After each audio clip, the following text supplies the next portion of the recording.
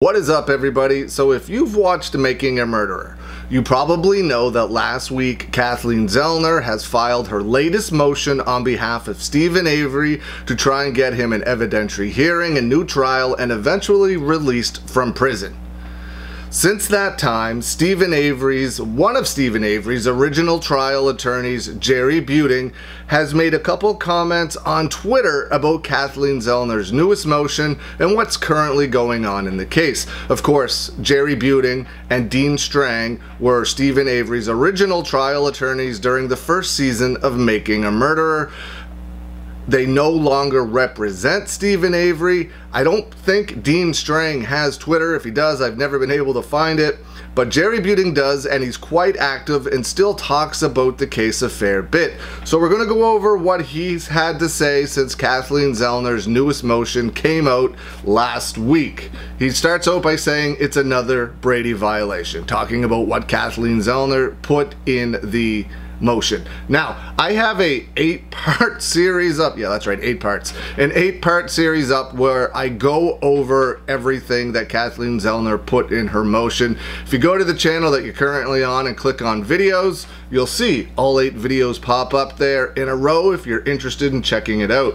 So he states, it's, an eight, it's another Brady violation. As usual in these cases, a stroke of luck defense ever found out. Meaning that the call that was recovered was never meant to be recovered. A lot of people were saying that Thomas Sowinski never actually called, never actually did the things that he did, but the call, not only did they find the call, they found the date and time that he did call a new records clerk apparently made a mistake, a mistake in doing what should have been done a long time ago, and included Thomas Sowinski's call in a new open records request in May of 2022. The call was hidden from us, us being Dean Strang and Jerry Buting, and from Kathleen Zellner until now.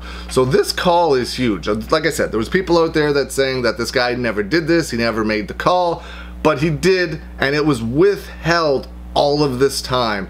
He goes on to state, uh, replying to a question that said, This is the worst county in the entire country. They don't really try to hide that they are trying to hide evidence, interviews and phone calls, reports, bones, and the list goes on and on. The audacity of this county, as if they are above the law, they swear to uphold. Jerry Buting replies with, Sadly, this is not unique to Manitowoc, though it is more corrupt than most Wrongful conviction attorneys across the country will tell you about Brady violations that are accidentally discovered years and decades later. Brady rules fail to prevent dishonest cops and district attorneys who hide evidence.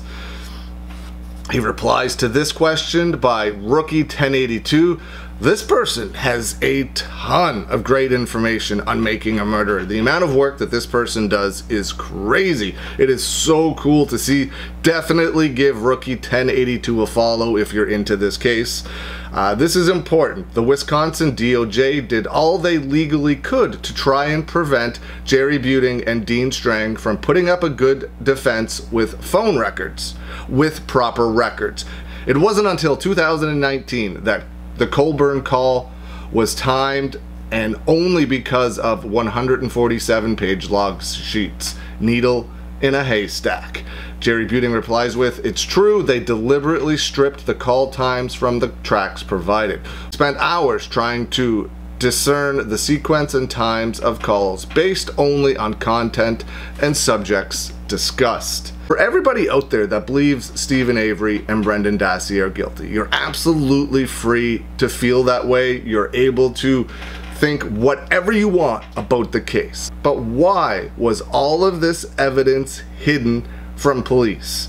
If he was guilty, why did they have to hide all of this evidence? Why did they have to suppress all this evidence? If he was guilty, shouldn't they have been able to prove that by doing their jobs correctly? Now, this is also replying to a tweet. The tweet said, What can be done to overturn rewrite Brady? If those types of loopholes can be exploited by crooked judges, what can be done to change it moving forward? He replies by stating SCOTUS could start by saying there's a constitutional right to discovery. So far, they have refused. Second, abolish absolute immunity for prosecutors who violate any discovery rules, Brady or otherwise. Third, adopt civil discovery for criminal cases, including sworn depositions. He replies to the question, which prompts the question, what else are they hiding? People need to watch this closely. Remind the Wisconsin DOJ, whoever runs that Twitter account must the tweets they get are unreal. Remind the Wisconsin DOJ and others in charge that the that this filing must be acted upon lawfully, not cast aside with bias and contempt like previous ones, like Steven Avery and Brendan Dassey were in the first place. Meaning that the other filings that Kathleen Zellner has put forward have been just dismissed rather quickly and without them actually, I mean, and if you read the response, without them actually even barely looking at it, it seems. Jerry Buting replied to that by saying, Indeed, what else are they hiding? They've, uh, they've always had this call and clear timestamps for all officials and record clerks should give sworn deposition testimony about where and how their records are stored. Maybe someone has the personal integrity not to lie under oath. Another one from Rookie 1082. This would be a good time to remind people the flyover video conveniently does not include footage of the gas station that Kevin Rahmlow was at and the location he claims he saw the car. This could be a huge coincidence, but but suppression is the name of the game. So meaning they could have this, they could have the video of them flying over where the RAV4 was reportedly seen and they've just either cut the video and destroyed it, or it's still out there and it's just being suppressed like everything else. Jerry Buting states that this is definitely not a coincidence.